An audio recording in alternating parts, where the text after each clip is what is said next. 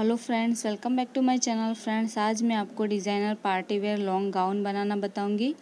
ये मैंने तीन मीटर पोलका डोट का फैब्रिक लिया हुआ है और एक मीटर मैंने प्लेन फैब्रिक लिया हुआ है और हाफ़ मीटर मैंने अस्तर लिया हुआ है। सबसे पहले हम प्लेन फैब्रिक पर टॉप पार्ट की कटिंग करेंगे। फैब्रिक को मैंने फोर फोल्ड किया हुआ है। इसकी लेंथ मैंने चौदह इंच रखी है और शोल्डर में छः इंच रखूँगी। आर्म होल की लेंथ भी मैं छः इंच रखूँगी। और छः इंच पर निशान लगाकर हमें सीधी लाइन ड्रॉ कर देनी है आर्म होल के लिए। और यहाँ से हम चेस्ट का फोर्थ पार्ट लेंगे और उसमें हम दो इंच प्लस कर देंगे सिलाई के लिए। मैंने ग्यारह इंच पर निशान लगाया है और सीधी लाइन ड्रॉ कर दी है।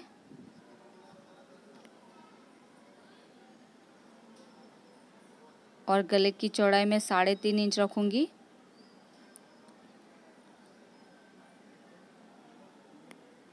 और गले की लंबाई में साढ़े चार से पाँच इंच रखूँगी। और जो हमने साढ़े तीन इंच पर निशान लगाया है, वहाँ पर हमें नीचे की साइड तीन इंच पर निशान लगा देना है और सीधी लाइन ड्रॉ कर देनी है। और आर्म होल के लिए हम वन इंच पर निशान लगा देंगे। और जो हमने तीन इंच पर निशान लगाया था, वहाँ से हम गले की लंबाई के लिए तिरछा निशान लगा देंगे। इस तरह से हमें नेक ड्रॉ कर लेना है और आर्म होल की साइड से भी हमें राउंड शेप ड्रॉ कर देना है। जिस तरह से आप वीडियो में देख सकते हैं, उसी तरह से हमें लाइन ड्रॉ कर देनी है आर्म होल के लिए और नेक के लिए।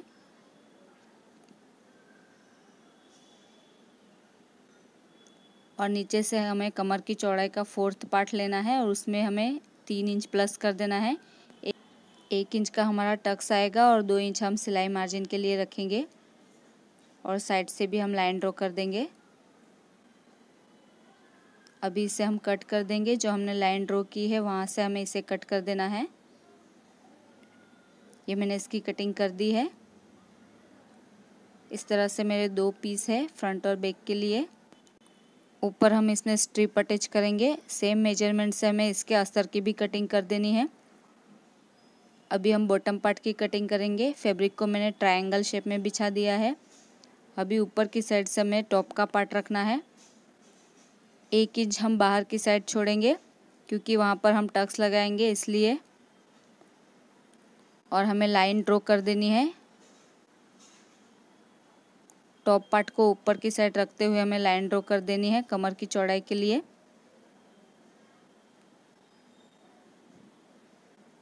और इसमें हम हल्का सा राउंड शेप ड्रॉ कर देंगे।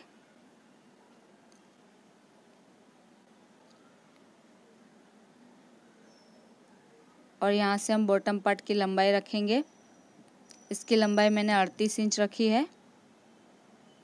एक इंच हमारा सिलाई में जाएगा नीचे की साइड से। और अड़तीस इंच तक हमें निशान लगाते जाना है पूरे राउंड पार्ट में। और राउंड शेप ड्रॉ कर देना है निशान लगाते हुए। ये मैंने इसमें राउंड शेप ड्रॉ कर दिया है। नीचे की साइड से मेरा हल्का सा जॉइंट आएगा। अभी इसे हम कट कर देंगे। ये मैंने इसकी कटिंग कर दी है और इसमें मैंने जॉइंट भी लगा दिया है। और इस तरह से मेरे दो पीस है फ्रंट और बैक के लिए।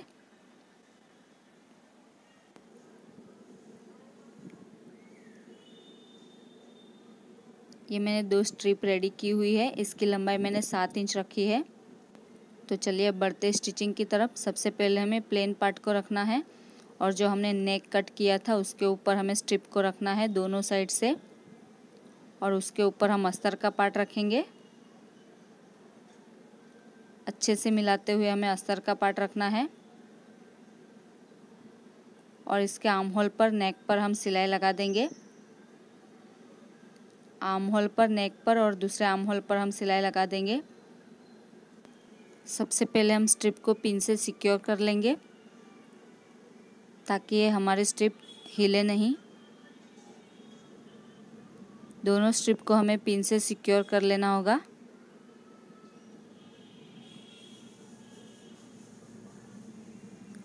उसके बाद हम इसके आर्म होल पर और नेक पर और दूसरे आर्म होल पर हम सिलाई लगा देंगे।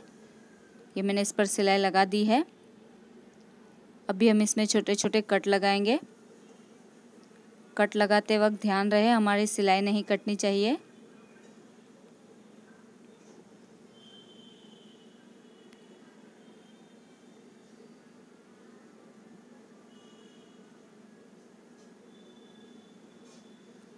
कट लगाने के बाद हम अस्तर को उल्टी साइड पलट देंगे।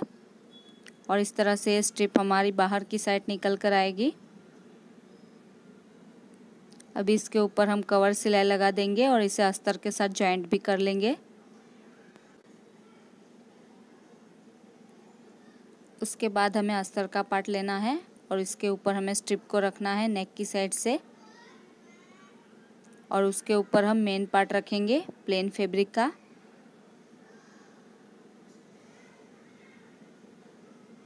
और इसके आम होल पर और नेक पर हम सिलाई लगा देंगे और प्लेन फैब्रिक को हम सीधी साइड पलट देंगे।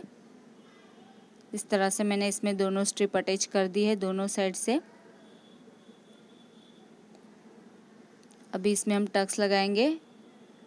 टॉप पार्ट को हमें डबल फोल्ड करना है और बंद वाली साइड से हम चार इंच पर निशान लगाएँगे। और ऊपर की साइड हम साढ़े चार इंच पर निशान लगाएँगे। और सीधी लाइन ड्रॉ कर देंगे। और लाइन के दोनों साइड से हमें हाफ़ हाफ़ इंच पर निशान लगा देना है। और तिरछी लाइन ड्रॉ कर देनी है। और ऐसा ही निशान हम दूसरी साइड भी लगा देंगे। ऐसा ही निशान हमें दूसरी साइड भी लगा देना है। और लाइन ड्रॉ कर देनी है। और इसके ऊपर हम तिरछा टक्स लगा देंगे दोनों साइड से। और बैक पार्ट पे भी हमें इसी तरह से टक्स लगा देना है, चार इंच का निशान लगाते हुए। ऊपर की साइड हम साढ़े चार इंच पर निशान लगाएँगे और सीधी लाइन ड्रॉ कर देंगे। और दोनों साइड से हाफ़ हाफ़ इंच का गेप देते हुए हम तिरछी लाइन ड्रॉ कर देंगे। और इसमें भी हम टक्स लगा देंगे दोनों साइड से। ये मैंने इसमें टक्स लगा दिए हैं दोनों साइड से। अभी हम इसमें बॉटम का पार्ट ज्वाइंट करेंगे। टॉप का पार्ट हमें सीधा रखना है और उसके ऊपर हम बॉटम का पार्ट उल्टा रखेंगे और इस पर सिलाई लगा देंगे। ये मैंने इसमें बॉटम का पार्ट ज्वाइंट कर दिया है दोनों साइड से।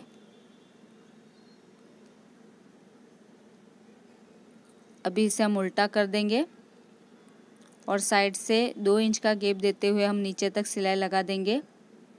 ऊपर से हम दो इंच का गेप देते हुए इस पर सिलाई लगा देंगे नीचे तक।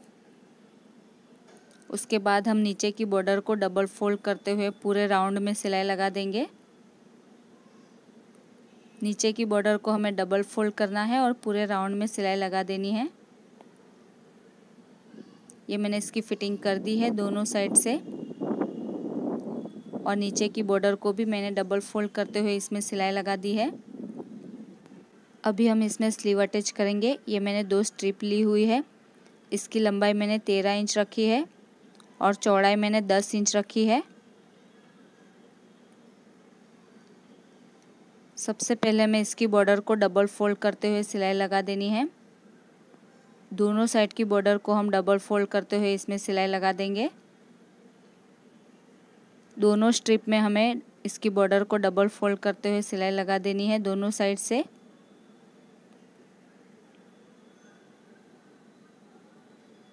ये मैंने इसमें सिलाई लगा दी है, दोनों स्ट्रिप में। अभी हम इसमें प्लीट्स लगाएँगे ऊपर की साइड से। हमें बड़ी बड़ी तीन से चार प्लेट्स लेनी है। प्लीट्स को हमें एक के ऊपर एक रखते हुए इस पर सिलाई लगानी है। इस तरह से हम तीन से चार प्लेट्स लगाएँगे इसमें और सिलाई लगा देंगे।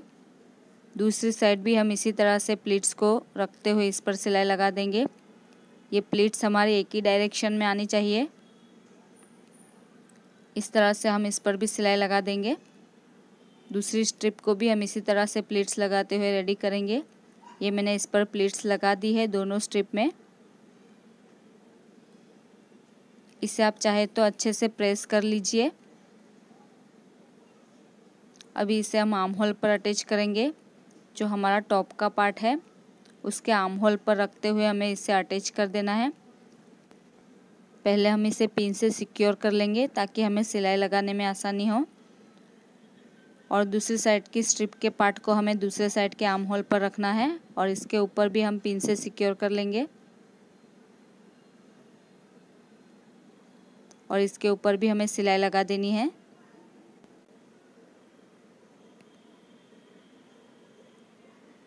और इसके ऊपर हम सिलाई लगा देंगे और इस तरह से हमारी स्लीव आएगी।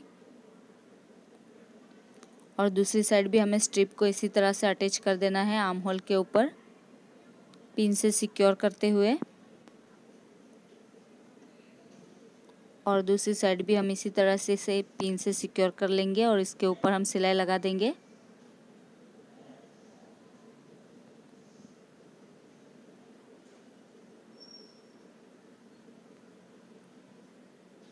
और इस तरह से हमारी स्लीव आएगी दोनों साइड से। ये मैंने इसमें स्ट्रिप अटैच कर दी है दोनों साइड से। और ये कुछ इस तरह से नज़र आएगी और ये हमारा डिज़ाइनर पार्टी वेयर गाउन बनकर रेडी हो चुका है। और यह है इसका फाइनल लुक फ्रेंड्स अगर आपको आज का ये वीडियो पसंद आया तो मेरी वीडियो को लाइक और शेयर ज़रूर कर देना। और अगर अभी तक आपने हमारे चैनल को सब्सक्राइब नहीं किया है तो प्लीज़ प्लीज़ इसे सब्सक्राइब कर लीजिए। और साथ में बेल आइकन को भी प्रेस कर देना ताकि आपको हमारे आने वाली वीडियो की नोटिफिकेशन सबसे पहले मिल सके।